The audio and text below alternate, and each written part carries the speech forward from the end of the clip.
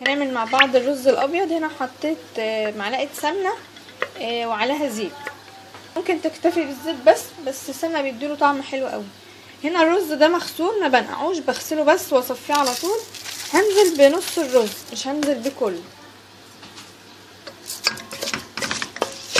وهقلب فيه لحد أما إيه ينشف شوية مش هياخد لون هيبقى أبيض هيبقى اللون بتاعه أبيض شوية. بس مش هسيبه يغمق. هفضل أقلب شوية وبعد كده هنزل بالجزء التاني عليه. الحركة دي ليه؟ عشان ما يعجنش منه لما تنزلي بنص الرز الأول بيبقى عامل زي الشعرية كده آه، تفصل بين الحبة دي والحبة دي فما يعجنش معاكي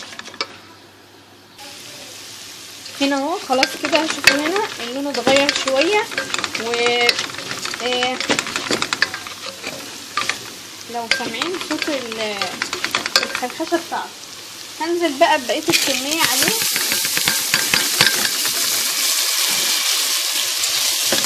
واقلبهم كويس. برضه هفضل أقلب شوية لحد أما إيه يفكوا من بعض.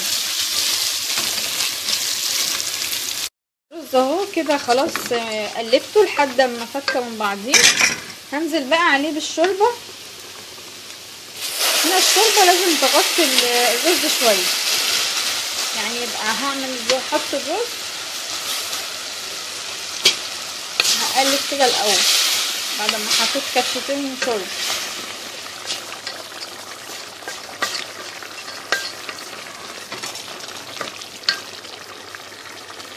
شوفوا هنا ال- الرز لسه باين لازم يكون الشوربة مغطية الرز. زي الرز المصري اللي عملناه قبل كده.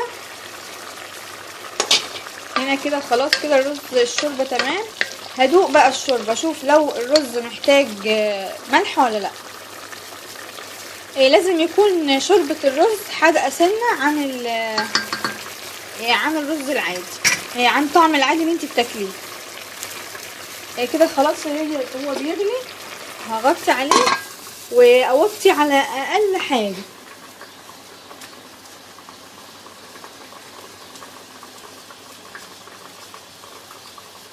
وبظبط للساعة بالظبط تلت ساعة.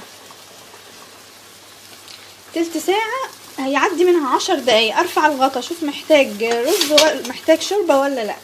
مش محتاج خلاص بغطي عليه وأسيبه. محتاج بزود له كبشة شوربة. وهوريكم برضو وأنا بعمل.